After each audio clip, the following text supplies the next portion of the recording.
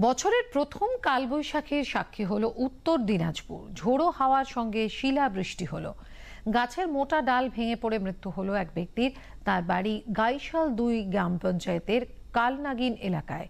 ইসলামপুর ব্লকের বিস্তীর্ণ এলাকায় ক্ষতিগ্রস্ত হলো ঝড়ের তাণ্ডবে এবং শিলাবৃষ্টিতে। শিলায় জখম হয়েছেন কেউ কেউ, তাদের মধ্যে মহিলারাও রয়েছেন। আহতদের ইসলামপুর মহকুমা হাসপাতালে নিয়ে যাওয়া হয়েছে।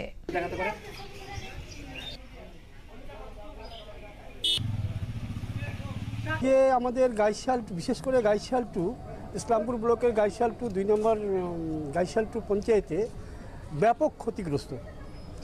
চাষিদের গম, ভুট্টা এগুলি একদম বলতে পারেন ধূলিসাৎ হয়ে গেছে, কিছুই নেই।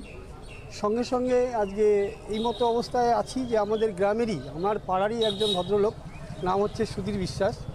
বয়স অনুমান পঁচপান্ন বছর বয়স হবে। উনি মাঠে কাজ করতেছিলেন, চাষের কাজ করতেছিলেন। তো মেঘ দেখে, আকাশে মেঘ দেখে উনি লুকিয়ে দৌড়ে বাড়ি আসতেছিলেন। একটা গাছের নিচে আসতে আসতে আচমকা গাছের ডালটা ভাঙে পড়ে।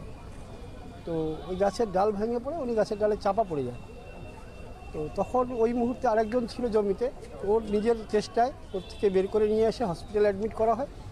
হসপিটালে অ্যাডমিট করার এক ঘণ্টার মধ্যেই ডাক্তার এক্সপায়ার বলে ঘোষণা করে। নষ্ট হয়েছে ক্ষেতের ফসল। বেশ কয়েকটি গাড়িও ক্ষতিগ্রস্ত হয়েছে।